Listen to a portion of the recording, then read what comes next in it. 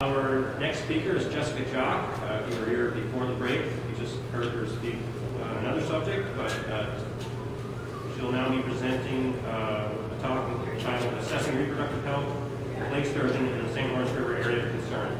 Uh, Jessica is with the St. Regis Tribe, I'm sorry, St. Regis Mohawk Tribe Environmental Division. Thank you. Good afternoon, no, not afternoon yet, still morning, after break. So, um, I'm, I'm probably gonna sit back down to give this talk as well, only because I think I have more comfort when I'm looking at the slides and walking through it. But, um, as, as I was introduced, I'm Jessica Jock, I work for the. Regis Mohawk Tribes Environment Division. In 2010, we received a Great Lake Restora- Restoration Initiative grant, um, to, uh, to look at lake sturgeon restoration in the St. Lawrence River area of concern. And those who were just at my last talk, I, I'll probably have, I think I have another figure in here identifying what the AOC is. It's one of the first objectives at the top. Second objective, uh, lake sturgeon significance to Mohawk. If you were at my, my last talk as well, then you probably have heard enough of that. Uh, number three is study objectives for assessing lake sturgeon health and contaminant burdens to eggs our project team, our field findings, and the comparison to a recent publication by Don Tillitt and others, um, looking at the, the paper title. I'm going to read it out loud right now. Actually, no, I'm not, because there's a lot of words in I don't want to read. I just realized, basically. I'll, I'll summarize. The paper is sensitivity of lake sturgeon, early life stages to PCB 126 and dioxin um, adverse effects, basically. So, for those who aren't familiar with an AOC, I'm assuming most in this room have probably worked in some regards to one of the AOCs. The St. Lawrence River uh, area of concern is the one that I'm, I'm referring to today.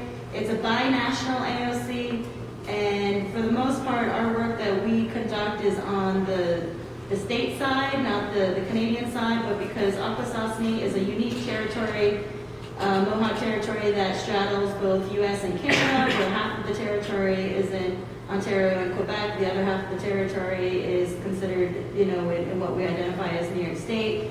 Here's here's the international boundary. So it, it creates some uh, jurisdictional complexities as well as when looking at fisheries uh, management or contaminant burden and understanding your sources. Um, what, is, what does that mean? And so, Akwesasne, in my last talk, I, I discussed uh, the Mohawk sturgeon fishermen and and um, and the use of, of lake sturgeon in the territory of Akwesasne. What I forgot to mention in the last talk, though, as well, is that so when we're looking at legacy contaminants in our industrial sources, we have Alcoa West, um, and they had uh, different discharges through the outfalls into the Lower Grass River. Here, the Lower Grass River in um, in Mohawk is called Niganjage, place of where the big fish, place of the big fish, and that's assumed to include lake sturgeon and some of the old salmon. And this still, this stretch of the river is still not remediated. We're still in remedial design in terms of uh, how to address the, the PCB concentrations. The, the record of decision includes uh, capping in the main channel and dredging in the near shore for anything greater than one parts per million PCBs. In 2016, and I'm probably going to forget the concentrations, but it was high. At Alpha 004, um, there were concentrations as high as I think 8,000 parts per million and sheens that were discovered in doing some of the characterization of the sediment cores to, to finish up remedial design. So there's still hot spots, there's still some really high concentrated areas of PCBs. And then um, East, uh, former Reynolds Metal, uh, the remedy was done in 2001. That uh, the remedy included cleanup for PCBs and PHs, and then General Motors. The, remedy on the St. Lawrence was conducted in 1995. So, with the exception of this long seven-mile stretch of contaminated water uh, sediment, uh, the rest of the St. Lawrence uh, remediation's been completed. Um, I, let me just go back for those. Uh, when it comes to the egg take as well, that, that's done here at the Moses Saunders Power Dam. Uh, so I just spoke on the, the Mohawk cultural significance. Uh, again, just briefly, it's about community sharing. And there's, it's a living culture still, generational teachings of lake sturgeon uh, collection in the community and use. And, um, and and and there, there's still a lot of reverence for, for the, the consumption of lake sturgeon, and, and it's still done during different celebratory events. Um, and, and it's usually the first, when, when there's a, a gathering and a meal, it's usually the first thing to go. Everybody makes sure that they get, get in line first for the lake sturgeon. Um, it's, it's smoked, um, smoked sturgeon. So um, the objectives for the, the contaminant study was um, so was to make progress on our understanding of overall lake sturgeon health, adult lake sturgeon health in the St. Lawrence River area of concern. So our field collection measures uh, was, was to include uh, morphological measures, external anomaly observations, your, your typical age, and then chemical measures uh, included lipids, percent lipids, PCB, uh, 155 congener analysis, mercury, dioxin, furans, organochlorine pesticides, and PBDEs, an emerging contaminant. And the proposal was to measure from lake, 20 lake sturgeon that were collected from Mohawk sturgeon fishermen. And this, this was determined during 2011 roundtable group meetings with different uh, lake sturgeon experts and managers from federal, um, even uh, provincial, from Ontario, Quebec, uh, state, DEC, as well as ourselves and MCA to, to say how can we best get some of this data on contaminant burden um, in, in a way that's meaningful. And so because of the, the harvest from some of the Mohawk sturgeon fishermen, we, we decided that it was best if we could collaborate with the fishermen to collect 20 of the fish from there and then um, analyze the gonads, liver, and fillet, and then if any eggs present, include the eggs as well. And then um, I'm going to jump to the third objective was for the, the eggs, also collect egg samples from any of the female sturgeon that were collected in that same year of the study with DEC during the egg take at the South Channel.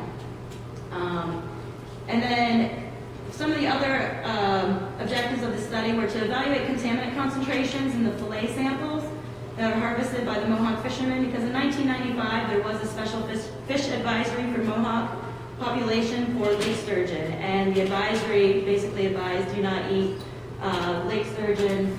Um, I think it was specific maybe to women and child, child women of childbearing age and children should not eat any flesh or roe from the sturgeon because in the 70s to the 80s there were some fish that were collected with fillet tissue concentrations of 4.9 parts per million PCBs, and then some of the roe, which was traditionally consumed as well, um, had PCB concentrations as high as 8 parts per million.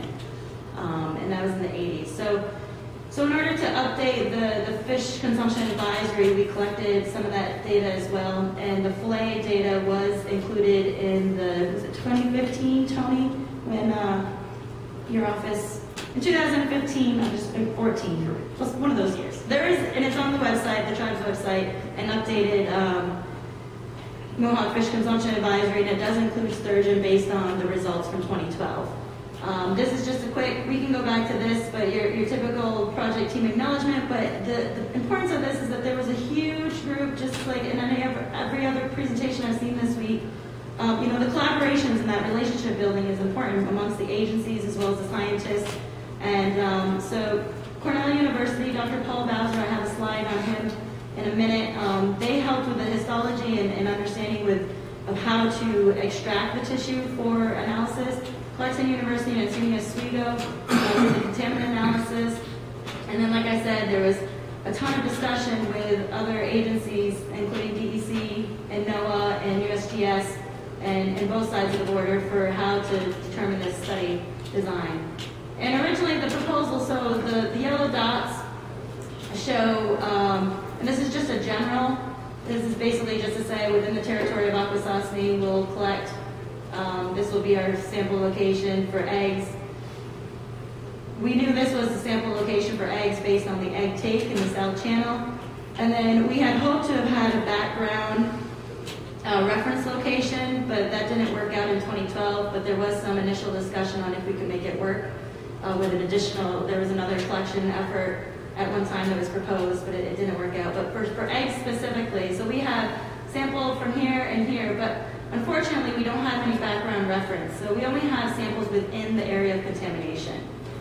So like I said, Dr. Bowser came into town, and uh, he, um, he, he was a great assistance in, um, in, in helping This is uh, Jay Wilkins. He was he's basically our field technician at the time who did a lot of the work. He's responsible for making sure that we had QA QC in the field during the collection, making sure there wasn't cross contamination, documenting everything. With those details, if anybody's worked with contaminants, you know, are so important to making sure that um, you, you get the job done to, to get uh, good analytical results. This is uh, a photo of one of the, the Mohawk Sturgeon Fisherman fish box locations. This is the setup that we had designed. This is there on their residence and their property. And, and so for the 20 fish that were being collected for the overall contaminant analysis, the original objective was to work with them when they were when they were harvesting, and then and then just you know collaborate from there. We would take the samples, and then they keep the rest of the fish and use it how they normally would. Um, and so we would take our measurements, and then this was from the egg take, and then these are sample vials for submittal to the, the lab.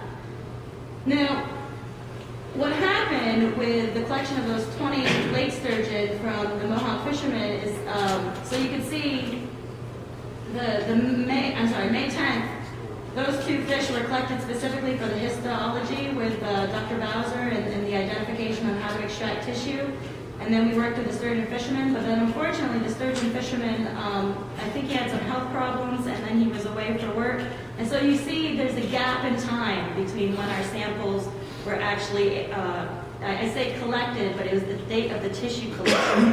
because when the, um, it's not necessarily the day that the sturgeon were collected in the field and brought to the fish box. It was the day of, of when we we uh, took the tissue collection. So the results um, here, just a couple things of note to highlight. I, um, so that's why those are highlighted in yellow, and that most likely affected our weight. It's probably gonna, I haven't done any analysis yet, but it probably most likely affected the lipid content as well, um, percent, because they were in a fish box for an extended period of time in a small area. Um, and that's going to be important for when uh, doing the analysis with contaminant concentrations, what that, that may have meant. Um, I highlighted, so I, I was speaking with, uh, with a colleague the other day and kind of just basically saying that there is almost an already self-observed uh, slot limit where, so this is the, you see most of the fish are in the same size range. There's one large fish here, which was a female because we had asked for a large fish for our histo histopathology work. We specifically asked, go, like, get a, give us the biggest fish that you can find. Um, and then this one uh, was probably done under the same premise of trying to get the largest fish, um, but it, it, wasn't released. Normally, the smallest and the largest fish are released during the, the um, collection by the fishermen. And these three samples are the egg uh, collection at the cell channel and then the, the features of the adults. So just a quick figure, uh, picture depicting uh, from the, the fish that were harvested.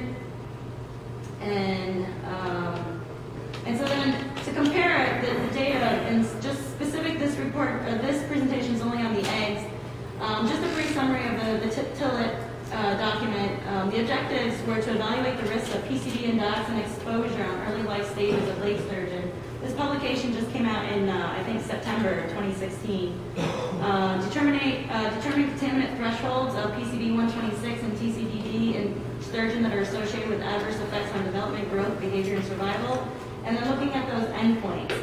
Um, the, you know, because if, if you don't have healthy uh, larvae and they, they can't, if they have any kind of effects to the heart or, or other, then uh, they won't be able to have a good predator uh, response and, and uh, remove themselves. And so they're probably, if they do survive to hatch to larvae phase, they may not be strong swimmers. And that's a concern with the, the contaminant thresholds. Is basically the story.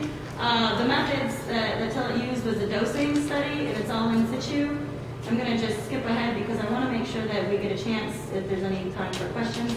Um, and, and the summary of the story is that lake sturgeon are three to four fold more sensitive to PCB 126 and two times more sensitive to TCDD, dioxins, than shovel nose and pallid sturgeon. This was the first time in situ study on kind of looking at these contaminant thresholds and adverse effects. Uh, so the results from our 2012 eggs Um, and I have uh, a note right here because I just want to, I want to make the group aware that I am seeking verification on the units, but I do believe these units are nanograms per gram because it would match the total PCB concentrations anyway. So total PCB concentrations in the eggs from our five samples.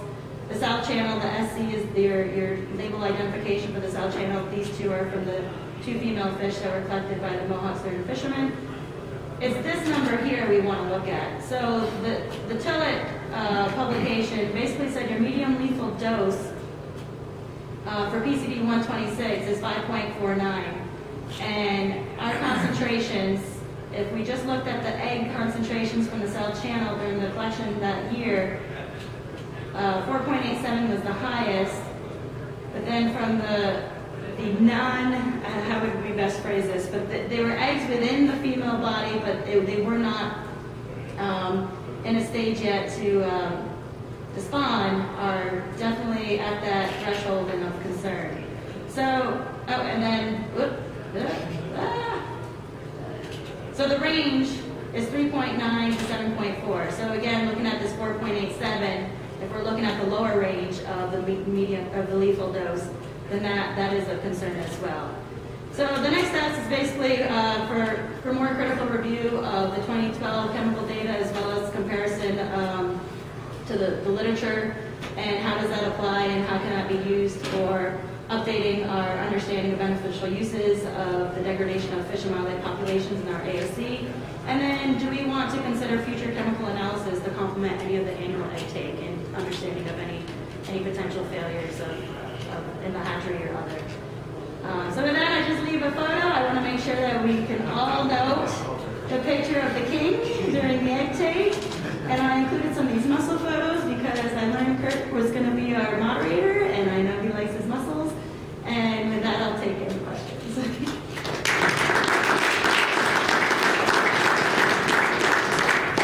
We do have a couple of minutes available for questions if anyone has any. Was any tissue samples? I mean, obviously, they, they eat a lot of smoked tissues, so I mean, was any of the tissue PCB? Yep, the, um, there was a fillet analysis so 20, uh, fillet was taken from each of the 20 individual sturgeon and, uh, analyzed, and that information was included in the Mohawk Fish Consumption Advisory Update.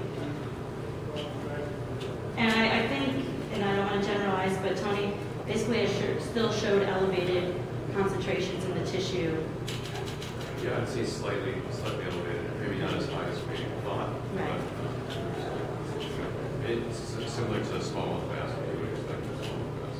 And, and most, well, I'm guessing not as high as in the 80s, what they were getting in the 80s when the original consumption advisory was issued. Anybody else?